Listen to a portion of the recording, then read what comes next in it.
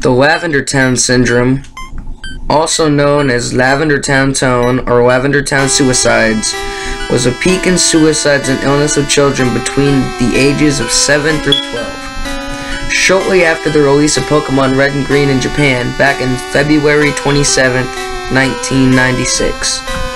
Rumors say that these suicides and illness only occurred after the children playing the game reached Lavender Town, whose theme music had extremely high frequencies that studies showed that only children and young teens could hear, since their ears were more sensitive.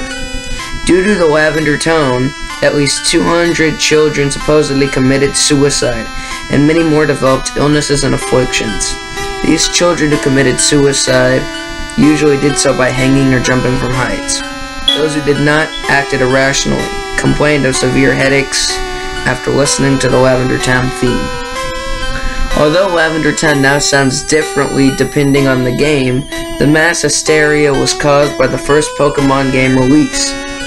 After the Lavender Town incident, the programmers have fixed Lavender Town's theme music to be at lower frequencies, and since children were no longer and since children were no longer affected by it. One video appeared in 2010 using a special software to analyze the audio of Lavender Town's music. When playing, the software created images of the unknown near the end of the audio.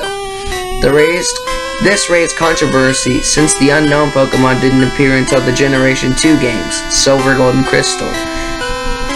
The unknowns translated to Leave Now. There is also said to be a beta version of the Lavender Town tone. It's in It is said that the beta version of Pocket Monsters was released to some kids to test the game. The video of the data version, uh, the, Anyways, guys, um, this was just a test. I was gonna do a little creepy pasta reading. Tell me if you guys liked it. Thanks for watching.